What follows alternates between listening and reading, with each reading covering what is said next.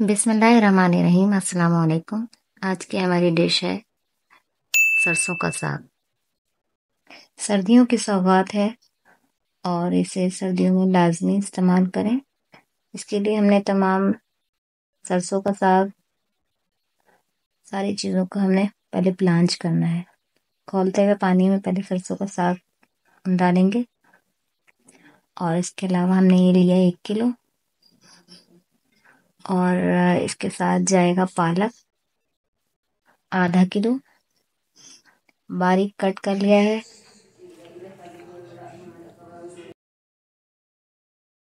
इसके अलावा इसमें जाएगा इसमें जाएगा बाथू या भतवा साग जिसे कहते हैं। इसके सिर्फ़ हमने पत्ते लिए हैं। वन ट्वेंटी फाइव ग्राम या आधा पाव कह सकते हैं। इसके अलावा मेथी ली है, ये भी। आधा पाव है, सिर्फ़ पत्ते लिए हैं इसके।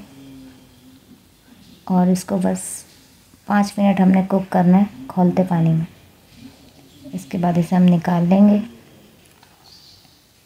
पाँच मिनट हो चुके हैं। इस प्रोसेस को करने का मकसद ये है कि जो भी इसके अंदर फर्टिलाइज़र्स वगैरह यूज़ हुए हैं, वो निकल जाएँ। बस अब हम इसे निकाल लेंगे और ये हमने इसके लिए मिट्टी की हांडी ली है। क्योंकि गाँव वगैरह में इसी तरीके से बनाया जाता है। तो हमने डायरेक्ट डाला है। और बिल्कुल स्लो आँच पे हमने इसे पकाने के लिए छोड़ना है। तो इसके अंदर हमने पानी अभी फ़िलहाल नहीं डालना क्योंकि इसमें से खुद ही पानी बहुत रिलीज़ होगा। ज़रूरत पड़ेगी तो हम एक दो गिलास पानी डाल देंगे। इसमें जाएगा लहसुन। ये दस से पंद्रह इसकी कलियाँ हैं, या पूरा एक आप पोथी ले सकते हैं। और इसके अलावा इसमें जाएगी सिर्फ़ हरी मिर्चें। हरी मिर्ची भी अपने टेस्ट के अकॉर्डिंग देंगे। ज़्यादा पसंद करते हैं तो ज़्यादा इस्तेमाल करेंगे। और इसके अलावा इसके अंदर कुछ भी नहीं जाएगा। स्लो आँच पे हमने पकाना है तकरीबन दो से तीन घंटे के लिए। बीच बीच में चेक करते रहेंगे। अगर पानी की ज़रूरत होगी तो डालेंगे अगर ना ऐसे ही इसको पकने देंगे। ये दो से तीन घंटे के बाद का रिज़ल्ट है। बहुत ही मामूली सा पानी है इसमें। और अब हम इसे घोटने से घोटेंगे। बग़ैर कुछ ऐड किए।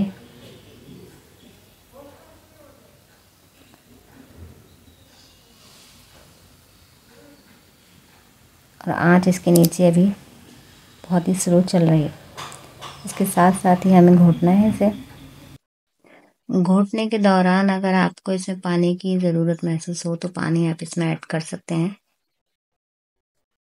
बहुत ज़्यादा पानी ऐड नहीं करेंगे, सिर्फ़ एक से डेढ़ गिलास पानी ऐड करके दोबारा हम इसे घोटेंगे।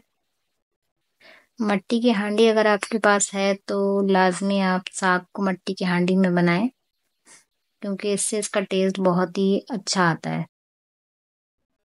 तो ये बिल्कुल नरम तो हो गया है, लेकिन अब इसमें जाएगा मकई का आटा। या अगर आपके पास नहीं अवेलेबल तो आप इसमें आटा भी इस्तेमाल कर सकते हैं।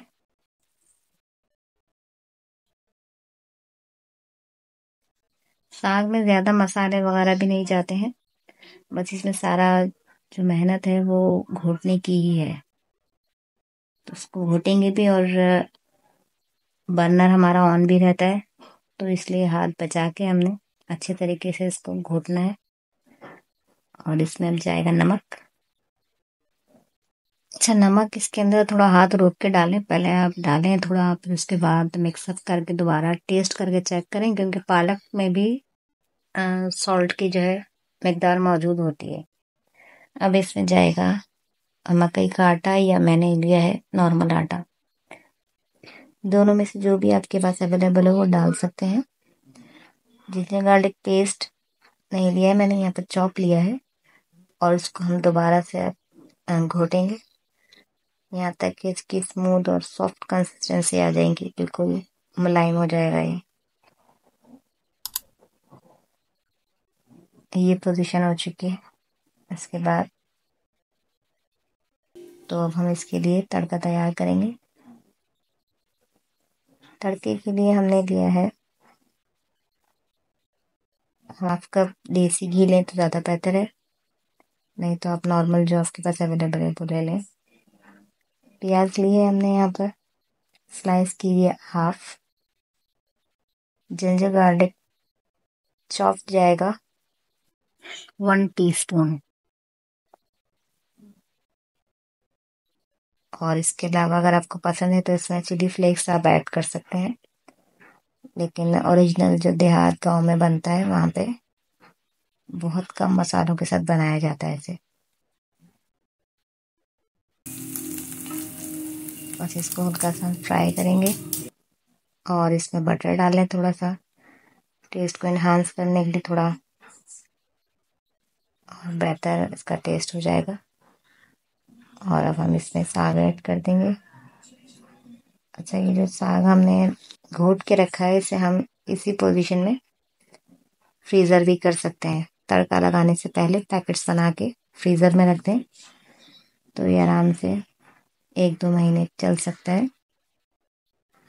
और इसे हम पूरी सर्दियाँ एंजॉय कर सकते हैं एक साथ बना के। तो इसमें हम ऐड करेंगे।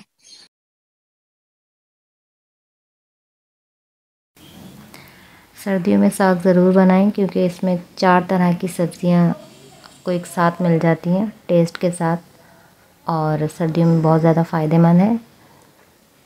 तो आपको मेरी रेसिपी कैसी लग रही है? अगर आपको पसंद आ रही हो तो लाइक ज़रूर कीजिएगा कमेंट भी कीजिएगा। नेक्स्ट रेसिपी तक के लिए अल्लाह हाफिज़।